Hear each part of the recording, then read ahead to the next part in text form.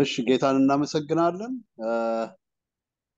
በየአስራ አምስት ቀኑ የምናደርገውን የሐዋርያት ስራን ትምህርትና ጥናት በዚህ ሰዓት እንጀምራለን። ሁሉንም ነገር በጌታ በኢየሱስ ስም አድርጉ ስለሚል በጌታ በኢየሱስ ክርስቶስ ስም እንጀምራለን። ክፍሉን በማንበብ እንጀምራለን። መጀመሪያ እስኪ ወንድሜ ኢንጂነር ዶክተር ዘላለም ከሐዋርያት ስራ ምዕራፍ ሁለት ከአስራ አራት ጀምሮ ያለውን እስከ ሀያ አራት ድረስ ያለውን ያነብልናል። እሺ የእግዚአብሔር ስም የተመሰገነ ይሁን። እስከ አገኘው ሀያ አራት ድረስ አዎ አግኝቼዋለሁ። የእግዚአብሔር ስም የተመሰገነ ይሁን። አነባለሁ። የሐዋርያት ስራ ምዕራፍ ሁለት ከቁጥር 14 እስከ 24 ነገር ግን ጴጥሮስ ከአስራ አንዱ ጋር ቆመ፣ ድምፁንም ከፍ አድርጎ እንዲህ ሲል ተናገራቸው። አይሁድ በኢየሩሳሌምም የምትኖሩ ሁላችሁ ይህ በእናንተ ዘንድ የታወቀ ይሁን፣ ቃሎቼንም አድምጡ። ለእናንተ እንደመሰላችሁ እነዚህ የሰከሩ አይደሉም፣ ከቀኑ ሦስተኛ ሰዓት ነውና። ነገር ግን ይህ በነቢዩ በኢዩኤል የተባለው ነው። እግዚአብሔር ይላል፣ በመጨረሻው ቀን እንዲህ ይሆናል ሥጋ በለበሰ ሁሉ ላይ ከመንፈሴ አፈሳለሁ። ወንዶችና ሴቶች ልጆቻችሁም ትንቢት ይናገራሉ፣ ጎበዞቻችሁም ራእይ ያያሉ፣ ሽማግሌዎቻችሁም ሕልም ያልማሉ። ደግሞም በዚያች ወራት በወንዶችና በሴቶች ባሪያዎቼ ላይ ከመንፈሴ አፈሳለሁ፣ ትንቢትም ይናገራሉ። ድንቆችን በላይ በሰማይ ምልክቶችንም በታች በምድር እሰጣለሁ። ደምም እሳትም የጢስ ጭጋግም ይሆናል። ታላቅ የሆነ የተሰማም የጌታ ቀን ሳይመጣ ፀሐይ ወደ ጨለማ ጨረቃም ወደ ደም ይለወጣሉ። የጌታን ስም የሚጠራ ሁሉ ይድናል። የእስራኤል ሰዎች ሆይ ይህንን ቃል ስሙ። ራሳችሁ እንደምታውቁ የናዝሬቱ ኢየሱስ እግዚአብሔር በመካከላችሁ በእርሱ በኩል ባደረገው ተአምራትና በድንቆች በምልክቶችም ከእግዚአብሔር ዘንድ ለእናንተ የተገለጠ ሰው ነበረ። እርሱም በእግዚአብሔር በተወሰነው ሐሳቡና በቀደመው እውቀቱ ተሰጥቶ በአመፀኞች እጅ ሰቅላችሁ ገደላችሁት። እግዚአብሔር ግን የሞትን ጣር አጥፍቶ አስነሳው፣ ሞት ይይዘው ዘንድ አልቻለምና። ጌታ ይመስገን። እኔ ደግሞ ከሀያ አምስት ጀምሮ እስከ አርባ አንድ ያለውን በጌታ ስም አነበዋለሁ። ዳዊት ስለ እርሱ እንዲህ ይላልና ጌታን ሁል ጊዜ በፊቴ አየሁት እንዳልታወቅ በቀኜ ነውና። ስለዚህ ልቤን ደስ አለው፣ ልሳኔም ሐሴት አደረገ። ደግሞም ሥጋዬ በተስፋ ያድራል። ነፍሴን በሲኦል አትተዋትምና ቅዱስህንም መበስበስን ያይ ዘንድ አትሰጠው። የሕይወትን መንገድ አስታወቀኝ፣ ከፊትህ ጋር ደስታን ትሞላብኛለህ። ወንድሞች ሆይ ስለ አባቶች አለቃ ስለ ዳዊት እንደሞተም እንደተቀበረም ለእናንተ በእርግጥ በግልጥ እናገር ዘንድ ፍቀዱልኝ። መቃብሩም እስከ ዛሬ በእኛ ዘንድ ነቢይ ስለሆነ ከወገቡም ፍሬ በዙፋኑ ያስቀምጥ ዘንድ እግዚአብሔር መሐላ እንደማለበት ስላወቀ ስለ ክርስቶስ ትንሣኤ አስቀድሞ አይቶ ነፍሱ በሲኦል እንዳልቀረች ሥጋውን መበስበስን እንዳላየ ተናገረ። ይህን ኢየሱስን እግዚአብሔር አስነሳው። ለዚህም ነገር እኛ ሁላችን ምስክሮች ነን።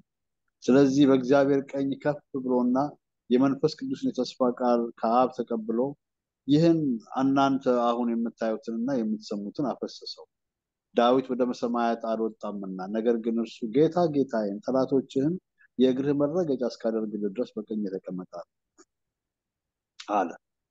እንግዲህ ይህን እናንተ የሰቀላችሁትን ኢየሱስን እግዚአብሔር ጌታም ክርስቶስም እንዳደረገው የእስራኤል ወገን ሁሉ በእርግጥ ይወቅ። ይህንም በሰሙ ጊዜ ልባቸው ተነካ። ጴጥሮስንና ሌሎችንም ሐዋርያት ወንድሞች ሆይ ምን እናድርግ አሏቸው። ጴጥሮስም ንስሐ ግቡ፣ ኃጢአታችሁም ይሰረይ ዘንድ ከእያንዳንዳችሁ እያንዳንዳችሁ በኢየሱስ ክርስቶስ ተጠመቁ፣ የመንፈስ ቅዱስንም ስጦታ ትቀበላላችሁ። የተስፋው ቃል ለእናንተና ለልጆቻችሁ ጌታ አምላካችንም ወደ እርሱ ለሚጠራቸው በሩቅ ላሉ ሁሉ ነውና አላቸው። በብዙ ሌላ ቃልም መሰከረና ከዚህ ጠማማ ትውልድ ዳኑ ብሎ መከራቸው። ቃሉንም የተቀበሉ ተጠመቁ። በዚያም ቀን ሶስት ሺህ የሚያህል ነፍስ ተጨመሩ ይላል። ጌታ ስሙ የተባረከ ይሁን። እንጸልይና እንጀምራለን። እስኪ የዘላለም ቅዱስ አምላካችን ሕያው እግዚአብሔር ሆይ አንተ በሕያውነት ያለ አንተ በዘላለም ስፍራ ያለ ታላቅ አምላክ ነው። እግዚአብሔር ሆይ ስለ ሕያውነትህ ጌታ ሆይ አሁን እግዚአብሔር የዘላለም ቅዱስ ለእኛም ልትገድ ለእኛም ልታሳይ እግዚአብሔር አባት ሆይ እነሆ በቃል ፊት አለንና ጌታና አምላካችን ሆይ የቃልህን እውነት እንድታበራልን ጌታ ሆይ በኢየሱስ ክርስቶስ ስም እንጸልያለን። ጌታና አምላክ ሆይ እነሆ እግዚአብሔር የዘላለም ቅዱስ በዚህ ዘመን እግዚአብሔር ሆይ መንፈስ ቅዱስ በመጣበት ጌታ ሆይ ዘመን ጌታና አምላክ ሆይ መንፈስህ ሕያው መሆንህን እንዳሳየ መንፈስህ ሕያው መሆንህን እንደመሰከረ ጌታና አምላክ ሆይ እነሆ ለሐዋርያት እንደመሰከረ ሌሎችም በእነሱ ዙሪያ ለነበሩት ሁሉ ያንተ ሕያውነት እንደተመሰከረ በጌታ በኢየሱስ ክርስቶስ ስም አሁንም እግዚአብሔር የዘላለም ቅዱስ ያንተ ሕያውነት ለእኛም ለዘሮቻችንም በዙሪያችንም ላሉ ለዓለም ሁሉ እግዚአብሔር አባት ሆይ ጌታ በድንቅ እንዲገለጥ ጌታ በኢየሱስ ክርስቶስ ስም እንጸልያለን። ቃልህ እውነት ነውና ጌታና አምላክ አሁንም መንፈስ በእኛ ላይ ይፍሰስ። አሁንም መንፈስ በእኛ ላይ ይለቀቅ። ጌታ ሆይ እናመሰግናለን። ጌታ ሆይ ክብር ሁሉ ለአንተ ይሁን። እግዚአብሔር ሆይ ተመስገን። በዘላለም ፍቅር ስላየህን ስለወደድከን እናመሰግንሃለን። ያው በሆነው ልጅ በኢየሱስ ክርስቶስ አሜን አሜን አሜን። ጌታን እናመሰግናለን። እንግዲህ በዚህ ክፍል ላይ በዚህ ቦታ ላይ በተለይ አንድ የምናየው በጣም አስደናቂ ነገር አለ። ይኸው ምንድን ነው? በቁጥር ሀያ ሰባት ላይ በቁጥር አስራ ሰባት ላይ እንደምናየው እግዚአብሔር ይላል በመጨረሻ ቀን እንዲህ ይሆናል፣ ስጋ በለበሰ ሁሉ ላይ ከመንፈስ ያፈሳሉ፣ ወንዶችና ሴቶች ልጆቻችሁም ትንቢት ይናገራሉ፣ ጎበዞቻችሁም ራእይ ያያሉ፣ ሽማግሌዎቻችሁም ህልም ያልማሉ። ጌታ ስሙ የተባረከ እንግዲህ ይሄ ነገር የተነገረው ይሄ ክፍል የተነገረው በየት ላይ ነው ብለን በምንልበት ጊዜ በትንቢተ ኢዩኤል ላይ ትንቢተ ኢዩኤል ምዕራፍ ሁለት ላይ ያለው ክፍል ነው።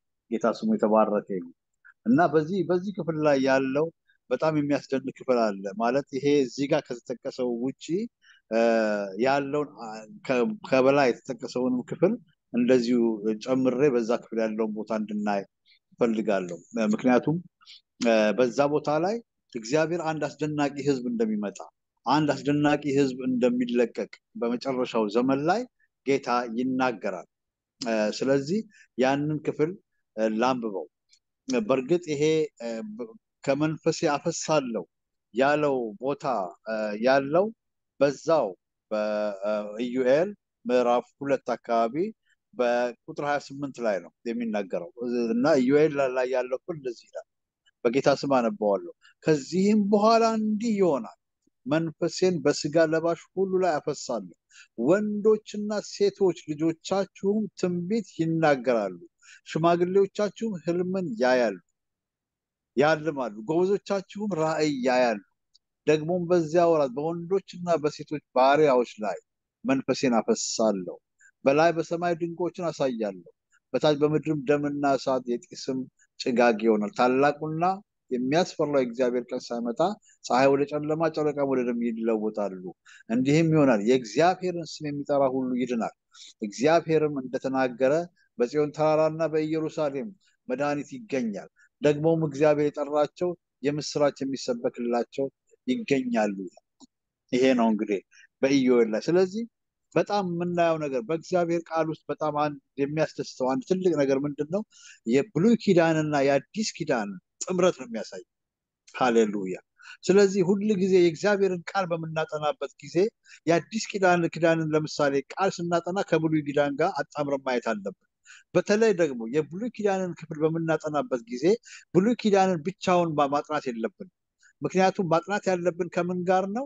ከአዲስ ኪዳን ጋር አጣምረን ነው ማጥናት ያለብን። አጣምረን ነው ማየት ያለብን። ሁለቱን ለይተን ለያይተን ማየት የለብንም ማለት ነው።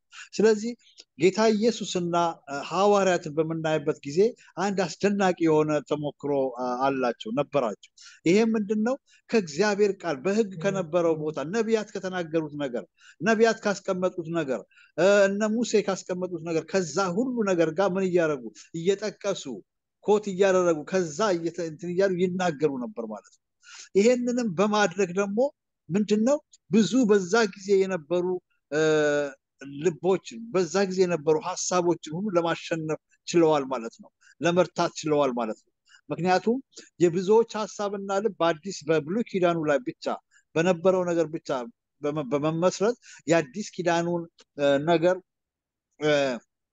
ብዙ ለማየት የሚችሉበት ሰዓት አልነበረም ያ ሰዓት። ስለዚህ ምን ያህል የክርስቶስ ኢየሱስ መምጣት ከብሉይ ኪዳን ጋር ምን ያህል የተያያዘ እንደሆነ እና በብሉይ ኪዳን ያለው ነገር በእያንዳንዱ የሚጠቀሰው ነገርና የሚነገረው ነገር ስለ ኢየሱስ ክርስቶስ ብቻ እንደሆነ አንድና አንድ ብቻ እንደሆነ ያንን የሚያሳይና ያንን የሚገልጽ ነገር ነበር የሚያደርጉት ማለት ነው። ስለዚህ ይሄ ጉዳይ ኢንሲደንታል አይደለም፣ ወይም ደግሞ በአክሲደንት የሚደረግ ነገር አይደለም፣ በአክሲደንት የሚሆን ነገር አይደለም። ምክንያቱም እነኚህ ሰዎች በዚህ ቦታ ላይ ይሄንን ነገር ሲጠቅሱ ይሄ ከዛ ከሉዓላዊው ኃይል ከእግዚአብሔር ዘንድ በደንብ የተዘጋጀና ከእግዚአብሔር ዘንድ ordained የሆነ ከእግዚአብሔር ዘንድ ተዘጋጅቶ የወረደና የፈሰሰ ነገር እንደሆነ እናያለን። ስለዚህ በዚህ በዚህ በዚህ በሐዋርያት ስራ ምዕራፍ ሁለት ላይ የሆነው ነገር ምንድን ነው? አስደናቂ ነገር ነው የሆነው። ይሄ ምንድን ነው? ባለፈውም ጊዜ አይተነዋል። መንፈስ ቅዱስ ከሰማይ ላይ ከእግዚአብሔር ዘንድ እግዚአብሔር ካለበት ከዙፋኑ ላይ ከዛ እንደወረደና ሃሌሉያ ከዛ ምን እንዳለ እንደመጣ እናያለን። ስለዚህ አሁን በዚህ ቦታ ላይ ጴጥሮስ ቆሞ በሚናገርበት ጊዜ ጴጥሮስ ለሰዎቹ ይሄንን ነገር እያስረገጠ ምን ያደርጋቸዋል ማለት ነው? ያስረዳቸዋል። ስለዚህ የዛሬው የዚህ የመንፈስ ቅዱሱ መውረድ ጉዳይ የዛሬው የመንፈስ ቅዱሱ መምጣት ጉዳይ እግዚአብሔር ቀደም ብሎ ካሰበው ሀሳቡ ጋር እግዚአብሔር ቀደም ብሎ ከተናገረው ነገር ጋር በነቢያቱ በዚህ በኢዮኤል በዚህ በትንቢተ ኢዮኤል ላይ በተነገረ በዛ መሰረት እግዚአብሔር መንፈሱን እንዳፈሰሰ በመላክ ሰዎቹን ሊያሳምናቸው ሞክሯል ማለት ነው።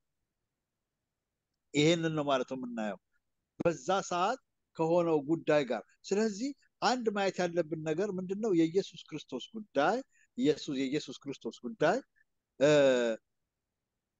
ከመጽሐፍ ቅዱስ ከሀ ጀምሮ እስከ ፐ ድረስ ያለው የኢየሱስ ክርስቶስን ጉዳይ የሚያሳይና የኢየሱስ ክርስቶስን ነገር የሚያሳይ መጽሐፍ እንደሆነ እናያለን። ስለዚህ ከመጀመሪያ እስከ መጨረሻ ድረስ ከትውልድ ጀምሮ እስከ ትውልድ መጨረሻ ድረስ ስለ ኢየሱስ ክርስቶስ እንደሚናገር ያንን መረዳት እንችላለን ማለት ነው። ይህንን ዋናው ይህንን ካየን በኋላ ከዛ በኋላ ወደዚህ ክፍል ሀሳብ እንመጣለን ማለት ነው እና በዚህ በዚህ ክፍል ላይ እንግዲህ ኢዩኤል የገለጠው ነገር ምንድን ነው? መንፈሴን በስጋ ለባሽ ሁሉ ላይ አፈሳለሁ። በምን ላይ? ስጋ በለበሰ ሁሉ ላይ የእግዚአብሔር መንፈስ እንደሚፈስ በመጨረሻው ዘመን ያ የእግዚአብሔር መንፈስ ሴቶችንም ወንዶችንም እንደሚነካ በዚህ ሰዓት ላይ ልዩነት እንደማይኖር ጳውሎስ እንደተናገረው ከዚህ በኋላ ልዩነት የለም ማለት ሴት የለም፣ ወንድ የለም፣ አይሁዳዊ የለም፣ ግሪካዊ የለም፣ ጨዋ የለም፣ ባሪያ የለም። ማንም ሁሉም በክርስቶስ ኢየሱስ ቢሆን ምንድን ነው አለ? በክርስቶስ ኢየሱስ አንድ ናቸው አለ። አንድ ነው አለ። ስለዚህ ይሄ እንግዲህ ምንድን ነው? እግዚአብሔር እኛን በአንድ አይነት መልክ ያየበት መልክ። ያ መልክ ማን ነው? የክርስቶስ መልክ ያ መልክ ማን ነው? የክርስቶስ መልክ ነው። ምክንያቱም ጳውሎስን በምናይበት ጊዜ ጳውሎስ ምን አለ? ሁሉንም በክርስቶስ አያለሁ፣ ሁሉንም በክርስቶስ ኢየሱስ እመለከታለሁ አለ።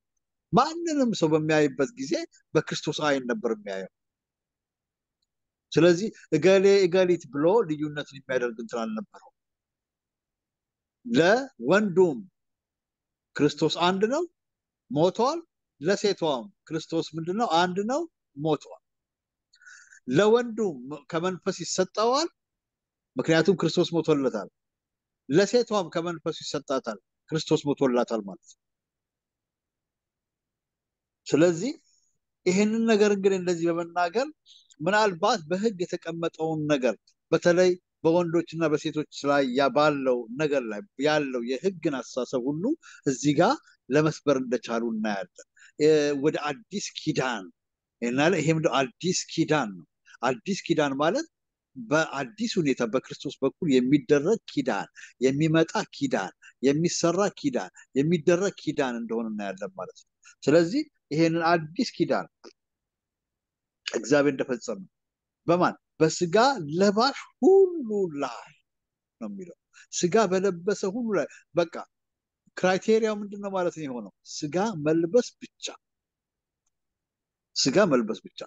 እንደዚህ ስንል ታዲያ ይሄ ስጋ የለበስ የሚለውን ነገር እንዲያው ወደ ሌላ ነገር አንዳንድ ጊዜ አሁን ችግሩ ምንድን ነው የእግዚአብሔርን ቃል አላለ ወስዶ ጥራዝ ነጠቅ ወደ ማድረግ ስጋ የለበሰ እንግዲህ እንስሶችም ስጋ ለብሰዋል እንግዲህ እንስሶችም የሚል አይነት ጥያቄ ደግሞ ሰዎች ሊፈጥሩ ይችላሉ። ስለዚህ ከዚህ ነገር መጠንቀቅ አለብን። ማለት እዚህ ጋር እግዚአብሔር የሚናገረው መንፈስ ስላላቸው ነው። እንስሶች መንፈስ የላቸውም። እንስሶች አካል ስጋ አላቸው፣ ነፍስ አላቸው። በቃ በሚሞቱበት ጊዜ እንኳን ነፍሳቸው ወደ መሬት ስጋቸው ይገባል። ከዛ ነፍሳቸው ለዘላለም ትሄዳለች። ምንም አይነት የወደፊት ኑሮ የላቸው እና የዛ አይነት ደግሞ የተሳሳተ አመለካከት እንዳይኖር፣ ምክንያቱም መንፈሱ ነው የሚወርደው። መንፈሱ ማን ላይ ነው የሚቀመጠው? መንፈስ ያለው ላይ ነው የሚቀመጠው። መንፈሱ ያለው ማን ላይ ነው? ሴትና ወንዶች ላይ ነው መንፈሱ ያለው። ስለዚህ ሴቶችና ወንዶች ላይ ነው ማለት ነው መንፈሱ ምን የሚለው የሚያርፈው ማለት ነው። ስጋ በለበሰ ሁሉ ላይ ሲል ማን ነው የሚያርፈው? መንፈስ ቅዱስ። መንፈስ ቅዱስ የሚመጣው በእነኚህ ስጋ ለባሾች ላይ ነው ማለት ነው።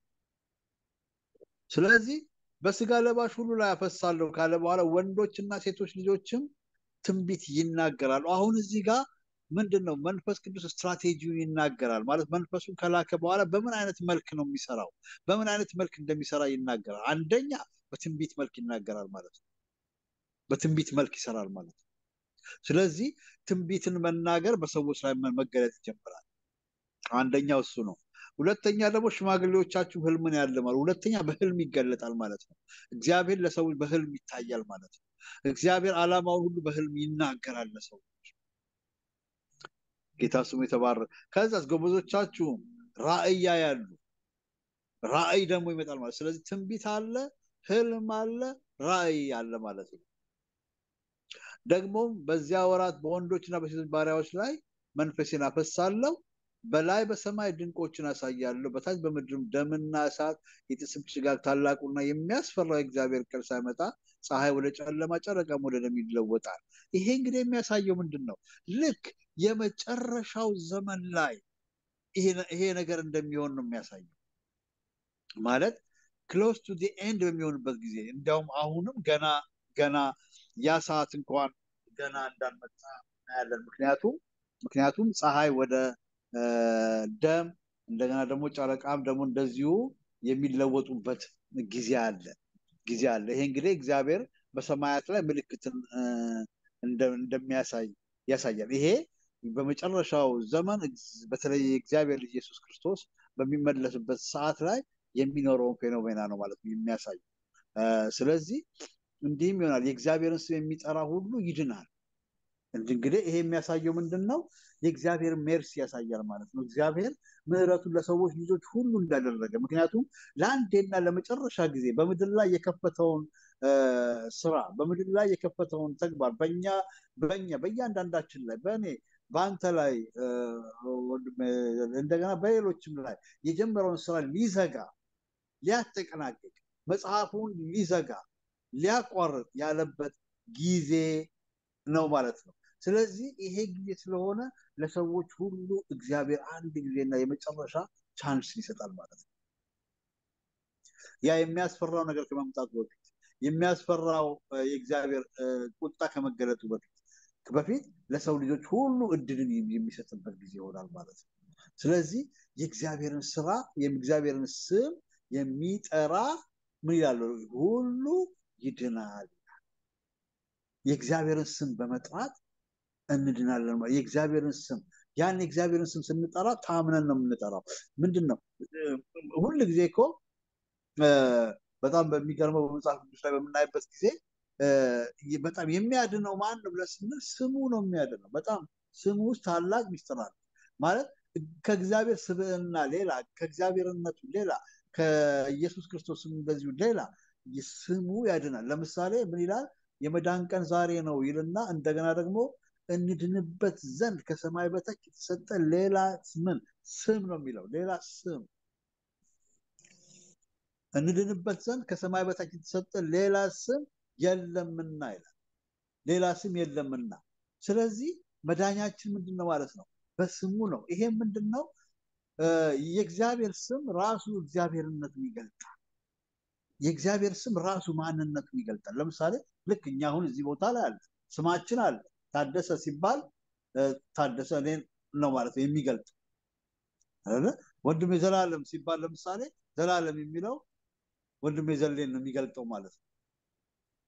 እና ስማችን ራሳችንን ይገልጣል፣ identify ያደርገናል፣ ይለየናል ማለት ነው። እና ለዚህ ነው ስም ያለን ለዚህ ነው። እና ይሄ ምንድን ነው የእግዚአብሔርን ስም የሚጠራ ሁሉ ምክንያቱም ስሙን ከመጥራት ጋር ምን አለ ማለት ነው? ስሙን አምኖ መቀበል አለ። ስሙን አምኖ ከመቀበል ጋር ራሱ የእግዚአብሔርን ማንነት አምኖ መቀበል አለ ማለት ነው። ስለዚህ ምናልባት ምናልባት እንደኔ ሀሳብ ምናልባት ወደፊት ሰዎች ለመዳን በሚገቡበት ተስፋ ነገር ሰዎች በሚድኑበት ጊዜ ምናልባት የእግዚአብሔር ነገር በቀላሉ ወደ ውስጣቸው የሚገባበት ሰዓት ይመጣል ብዬ አስባለሁ። ወደፊት ማለት ነው። ገና ይሄ ነገር ገና እንትን ማለት ወደ ገና አልተጨረሱም፣ አላለቅም የዚህ ነገር ፍጻሜ ማለት ነው። ስለዚህ ሰዎች የእግዚአብሔርን ነገር በቀላሉ አምነው የሚቀበሉበት በቀላሉ አምነው የሚድኑበት ጊዜና ሰዓት ይመጣል ማለት ነው። ይሄ ምንድን ነው? የእግዚአብሔር ስም ራሱ ከነሱ ጋር ኢንኮርፖሬት ያደርጋል ወይም ደግሞ በአንድነት ይያያዛል። ስሙ ከልባቸው ጋር ይያዛል ይያያዛል። ውስጣቸው ስሙ ይጻፋል። ውስጣቸው ስሙ ይኖራል። ምክንያቱም የእግዚአብሔር ቃል ራሱ በአንድ ቦታ ላይ ይላል፣ እኔም ሕጌን በልቦናቸው ላይ ጽፈዋለሁ። እንደ በፊቱ ሕጉን በድንጋይ ላይ ብቻ በመጻፍ በመቅረጽ የሚደረግ አይሆንም። ምክንያቱም ሙሴ በድንጋይ ላይ በጽላቱ ላይ ነው ጽፎ ሰጠው አይደለ? አሁን ግን እንደዛ አይሆንም።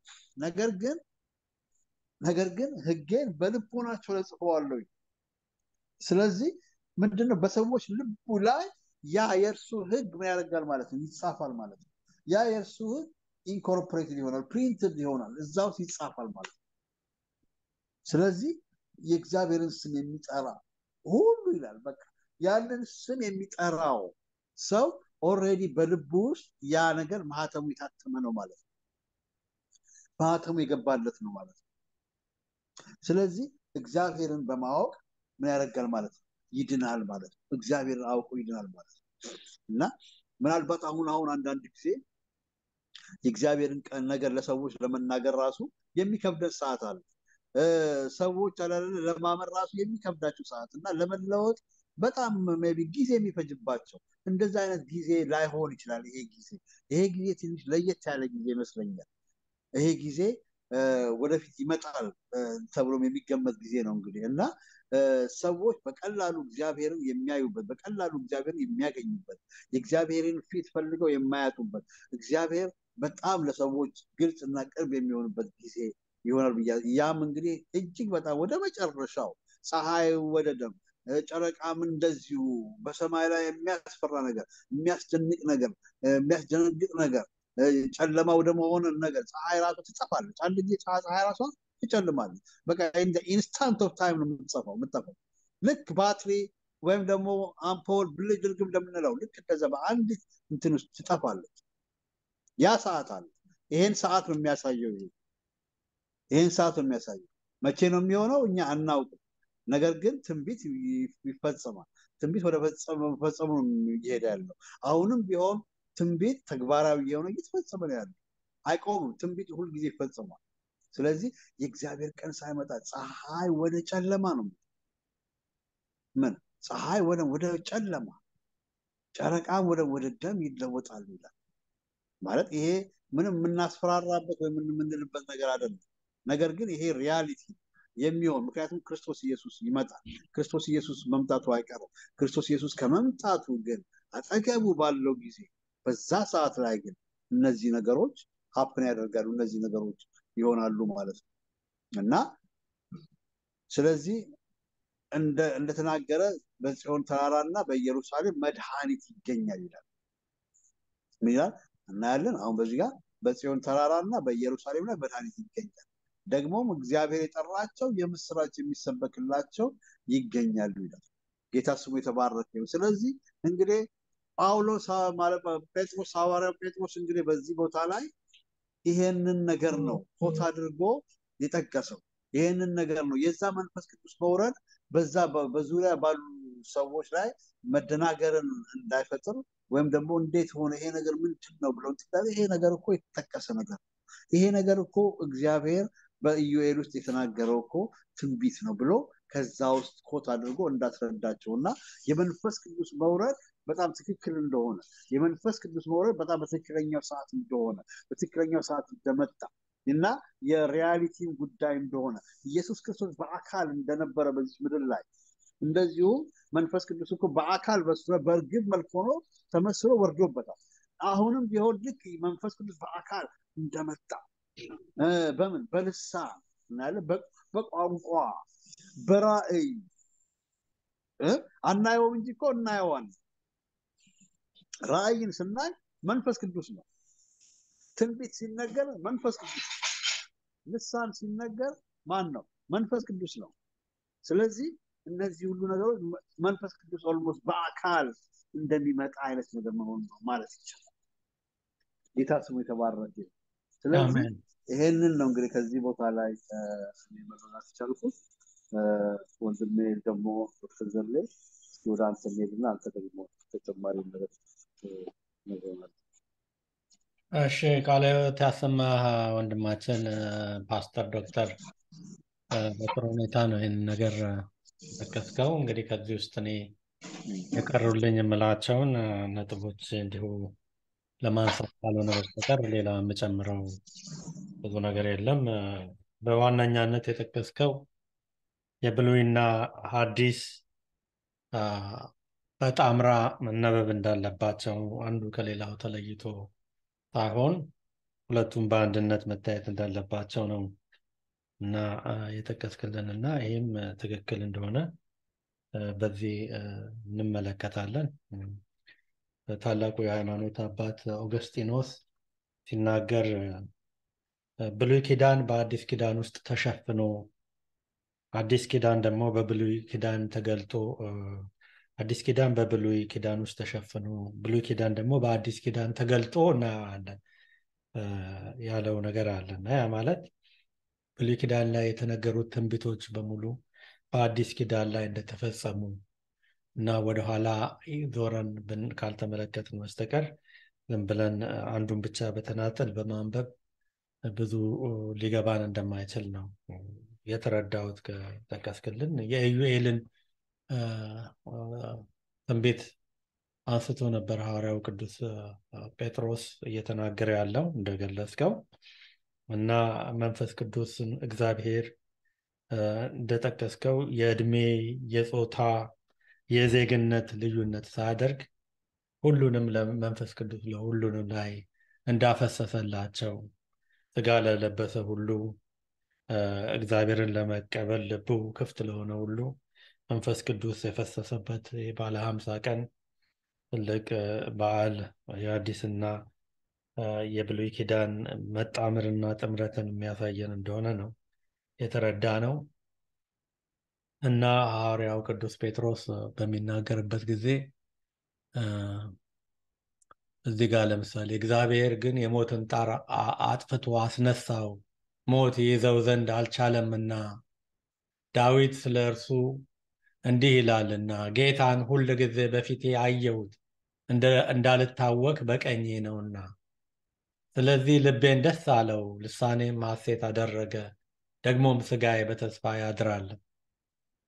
ነፍሴም በሲኦል አትተዋትምና ቅዱስህንም መበስበስን ያይ ዘንድ አትሰጠውም። ይህንን ሲናገር እንግዲህ ይህንን ሐዋርያው ማን ነው ንጉሥ ዳዊት ከተናገራቸው መዝሙረ ዳዊት ምዕራፍ አስራ ስድስት ከቁጥር አስር ላይ ይገኛል። ይሄ ራሱ ነፍሴን በሲኦል አተዋትምና ቅዱስህንም መበስበስ ያይ ዘንድ አተውም ይላል። እና ይሄ ዳዊት ስለ ራሱ አይደለም የተናገረው። ስለ ወደፊት ስለ ጌታችን መድኃኒታችን ኢየሱስ ክርስቶስ እንደሆነ ነው እንግዲህ እዚህ ለሐዋርያው ቅዱስ ጳውሎስ የሚናገር ለሐዋርያው ቅዱስ ጴጥሮስ ለመግለጽ እየሞከረ ያለው። እዚህ ጋር ለምሳሌ ወንድሞች ሆይ ስለ አባቶች አለቃ ስለ ዳዊት እንደሞተም እንደተቀበረም ለእናንተ በግልጥ እናገር ዘንድ ፍቀዱልኝ፣ መቃብሩም እስከ ዛሬ በእኛ ዘንድ ነው።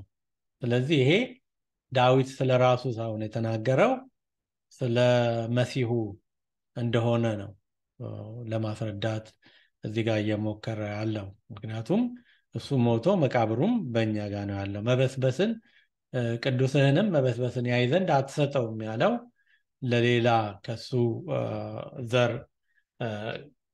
ቃል የገባለት ከሱ ዘር መሲህና አዳኝ እንደሚወጣ ቃል ተገብቶለታል እና ያንንም ስለሚያውቅ ያንንም ደግሞ እግዚአብሔር በራእይ ስላሳየው በዛ ነው ስለ መሲሁ ነው የሚናገረው እንጂ እዚህ ጋር ትንቢቱ ነቢይ ስለሆነ ከወገቡም ፍሬ በዙፋኑ ያስቀምጥ ዘንድ እግዚአብሔር መሐላ እንደማለለት አወቀ ይላል እና እግዚአብሔር መሐላ ምሎለታል።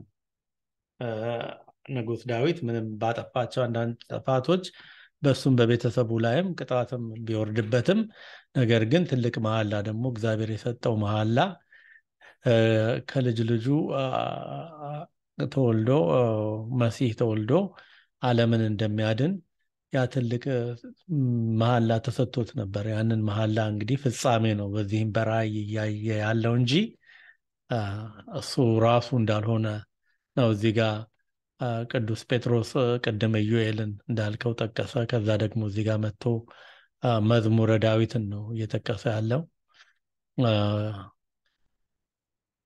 እዚህ ጋር ያው ስለ ክርስቶስ ትንሣኤ አስቀድሞ አይቶ ነፍሱ በሲኦል እንዳልቀረች ስጋውን መበስበስን እንዳላየ ተናገረ ይላል።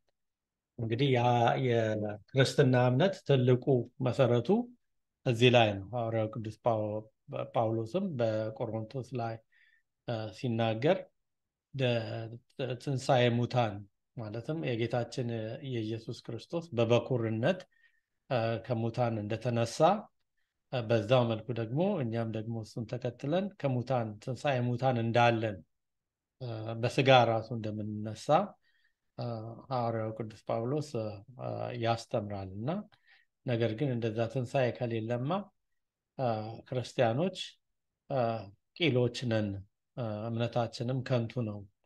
ትንሣኤ ግን በእግዚአብሔር ዘንድ ተነስተን በእግዚአብሔር ዳግመኛ በዳግመኛ ፍርድ ቀን በቀኙ እንቆማለን። ያ ነው ትልቁ የክርስትና እምነት። አዘርዋይዝ ያ ነገር እውነት ካልሆነ ትንሣኤ እውነት ካልሆነ እንደ ሌሎቹ ዝም ብለን ብንጨፍር ብንዝናና ነው የሚሻለን ዝም ብለን በከንቱ ከምንደክም። ነገር ግን ትንሣኤ ሙታን ነው የክርስትና ዋና ምልክቱ፣ ዋናው እምነቱ እዛ ላይ ነው ያለው ብሎ ሐዋርያው ቅዱስ ጳውሎስ እንደሚያስተምረው እዚህ ጋር ደግሞ ሐዋርያው ቅዱስ ጴጥሮስ ደግሞ በደንብ ክሊርሊ ጌታችን መድኃኒታችን ኢየሱስ ክርስቶስ ሙታን እንዳስነሳውና እንዴት ስለዚህ በእግዚአብሔር ቀኝ ከፍ ከፍ ብሎና የመንፈስ ቅዱስም የተስፋ ቃል ከአብ ተቀብሎ ይህን እናንተ አሁን የምታዩትንና የምትሰሙትን አፈሰሰው። እንግዲህ ጌታችን መድኃኒታችን ኢየሱስ ክርስቶስ በአብ ቀኝ ተቀምጦ ነው ተሰብስባቸው በኢየሩሳሌም ቆዩ ያላቸውን ለነሱ ይህንን ትልቅ የመንፈስ ቅዱስ ጸጋ ያፈሰሰባቸው በዛ ነው ማለት ነው። እዚህ ጋር ደግሞ እንደገና ለማስረዳት ዳዊት ወደ ሰማያት አልወጣምና ነገር ግን እርሱ ጌታ ጌታዬን ጠላቶች የእግር መረገጫ እስካደርግልህ ድረስ በቀኝ የተቀመጠ አለው። ስለዚህ እዚህ ጋር አሁን ሁለት ጌታ ጌታዬን ነው። ጌታ ጌታዬን ማለት ዳዊት ራእይ እያየ ነው ማለት ነው። ጌታ ጌታዬን እንግዲህ እዚህ ላይ ሁለት ጌቶች ነው እየተናገረ ያለው። እንግዲህ በክርስትና እምነታችን አብ፣ ወልድ፣ መንፈስ ቅዱስ ነው የምንለው። አብና ወልድን እዚህ ላይ እንደጠቀሰ ነው የምንረዳው ማለት ነው። መጨረ እዚህ ላይ ደግሞ እንዴት አድርጎ ሰዎቹ እንደ ልባቸውን የሚወጋ በጣም ከባድ ነገር ነው እዚህ ላይ ሐዋርያው ቅዱስ ጴጥሮስ እየተናገረ ያለው። እንግዲህ ይህንን እናንተ የሰቀላችሁትን ኢየሱስን እግዚአብሔር ጌታም ክርስቶስም አደረገው።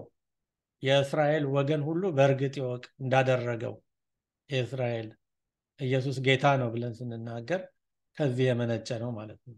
እናንተ የሰቀላችሁትን እሱ ጌታም ክርስቶስም መሲህም አደረገው የእስራኤል ወገን ሁሉ ይህንን ይረዳ ብሎ እዚህ ላይ ደግሞ አስቀምጦታል እና እንደተባለውም ልባቸው ተነካ። ይህን በሰሙ ጊዜ ልባቸው ተነካ። ጴጥሮስንና ሌሎች ሐዋርያት ወንድሞች ሆይ ምን እናድርግ አሏቸው። በቃ የሆነ ጥፋት ማጥፋታቸውና ትክክል አለመሆናቸው በክሊርሊ ታያቸው ማለት ነው። በዛ ምክንያት ምን እናድርግ እና ጴጥሮስም ንስሐ ግቡ፣ ኃጢአታቸው የሚሰረይ ዘንድ እያንዳንዳችሁ በኢየሱስ ክርስቶስ ስም ተጠመቁ፣ የመንፈስ ቅዱስንም ስጦታ ትቀበላላችሁ። ጋር ታዩታላችሁ። በኢየሱስ ክርስቶስ ስም ተጠመቁ አለ ጌታችን መድኃኒታችን ኢየሱስ ክርስቶስ ማቴዎስ ወንጌል ምዕራፍ 28 ላይ ስለ ሂዱና አሕዛብን አስተምሯቸው በአብ በወልድ በመንፈስ ቅዱስ አጥምቋቸው ስም አጥምቋቸው ብሎ ተናግሮ ነበረ። አሁን እዚህ ሐዋርያው ቅዱስ ጳውሎስ ደግሞ በኢየሱስ ክርስቶስ ስም ተጠመቁ አለ እና እንግዲህ ኢየሱስ ክርስቶስ አብ ወልድ መንፈስ ቅዱስ ወልድ እንደሆነ እና በሱ ስም መጠመቅ ማለት በአብ በወልድ በመንፈስ ቅዱስ ስም መጠመቅ ተመሳሳይ እንደሆነ ነው የምናየው እና ይሄ የራሱ ነጥብ የስላሴዎችን አንድነትና ሶስትነት ሊያስረዳን የሚችል ነጥብ ነው ማለት ነው እና በጣም በጥሩ ሁኔታ ነው ገልጸ ያስተማርከን እና በድጋሚ እግዚአብሔር ቃለ ያሰማ ወንድማችን እንግዲህ እንትኑን መልሼ ለአንተ ሰጣለሁ። አሜን አሜን። ወንድሜ ዶክተር ኢንጂነር በእውነት ተባረክ። በእውነት ስትናገር አንድ ደግሞ ነገር እያየው ነበር ማለት ይሄ ክፍል ምን ያህል ጥልቀት ያለው ነገር እንደሚናገር። እዛ ጋር በተለይ ዳዊት ጌታውን ጌታ ጌታዬን እንደዚህ ያለው ይላል። እግሮች ጠላቶቹ ከእግር በታች እስካደረግልህ ድረስ በቀኝ ተቀመጥ አለው። እና ምን ያህል እዛ ጋር እንግዲህ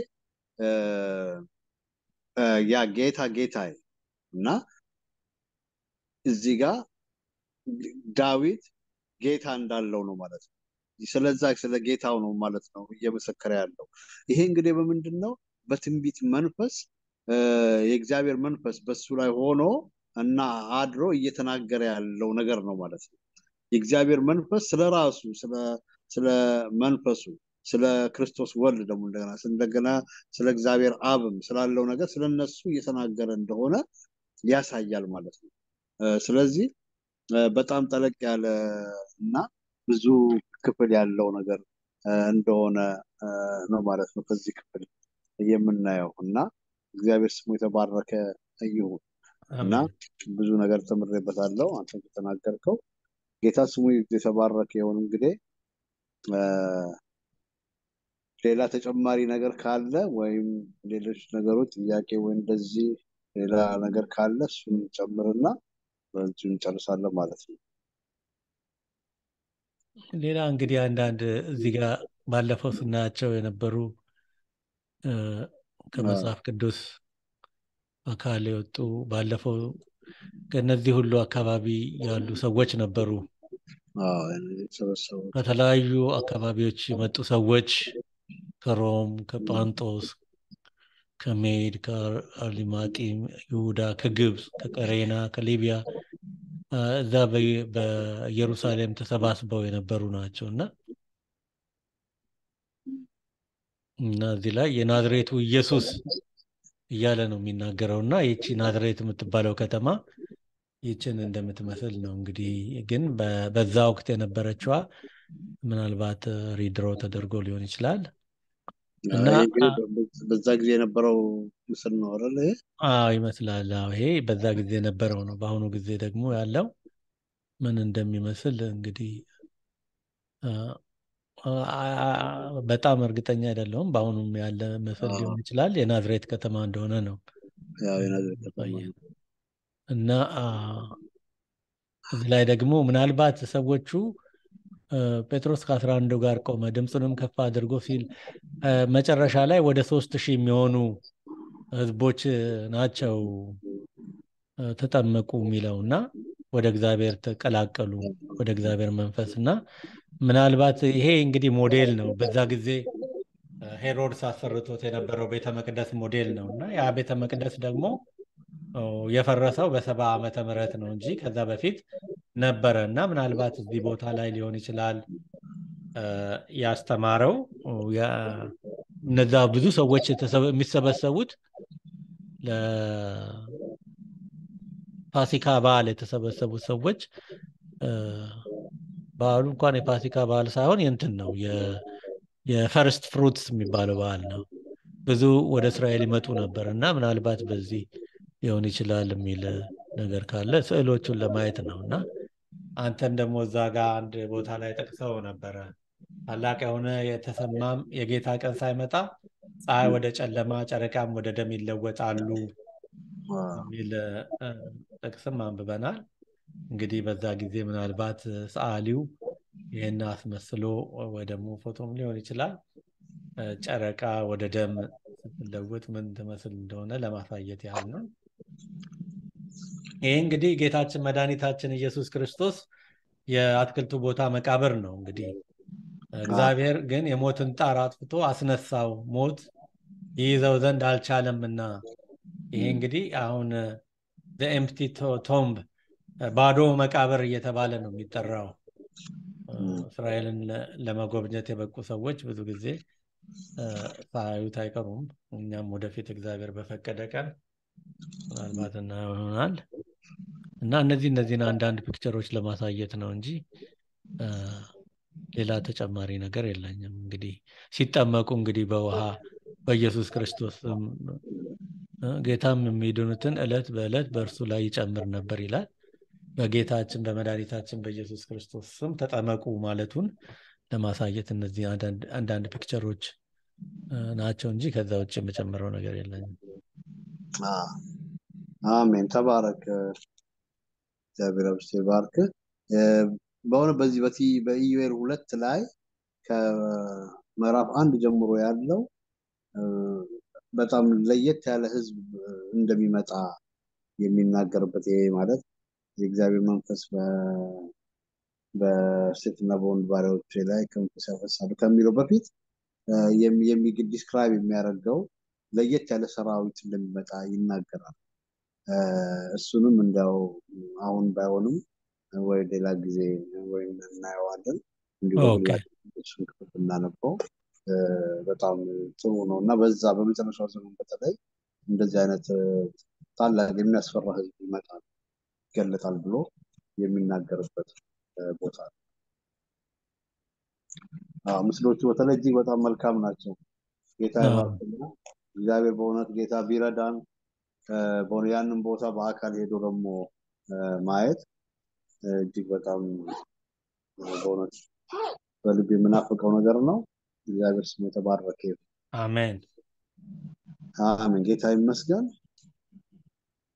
ሌላ ነገር ከሌለ እንግዲህ እስኪ አመስግንልንና እንጨርሳለን ማለት ነው። እሺ አምላካችን እግዚአብሔር ሆይ እናመሰግንሃለን፣ እናከብረሃለን፣ ስምህን ከፍ ከፍ እናደርጋለን። አምላካችን ሆይ እኛን የፈጠርከን አንተን ለማክበር አንተን ለአንተ ክብር ለአንተ ግሎሪ ነው። እና አምላካችን ሆይ ህይወታችን በሙሉ ለአንተ ክብር የተሰጠ እንዲሆን አረማመዳችን በሙሉ አንተን ለማገልገል አንተን በሰዎች ዘንድ ለማስከበር እንዲሆን ነው። አምላካችን ሆይ ህይወታችንን ታስተካክልልን ዘንድ እንለምንሃለን። አምላካችን ሆይ ወንድማችን ላይ ዛሬ አድረህ ደግሞ ቃሉን ልታካፍለን ደግሞ ስለፈቀድክ እናመሰግንሃለን። እሱም ደግሞ ለሚቀጥሉት ደግሞ ጊዜ ለሚቀጥለው ጊዜ ደግሞ እንደዚሁ ተዘጋጅቶ እንዲያስተምረን በሰላም በጤና ተገናኝተን ደግሞ የሚቀጥለውን ክፍል ደግሞ እንድናጠና እና አምላካችን ሆይ ቅዱስ ፈቃድ ይሆን ዘንድ እንለምንሃለን።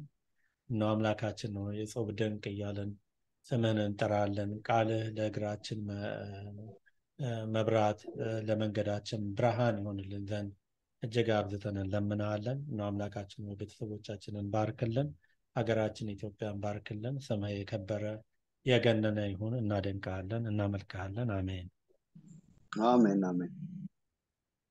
ተባረክ። አሜን። ጌታ ይባርክ እንግዲህ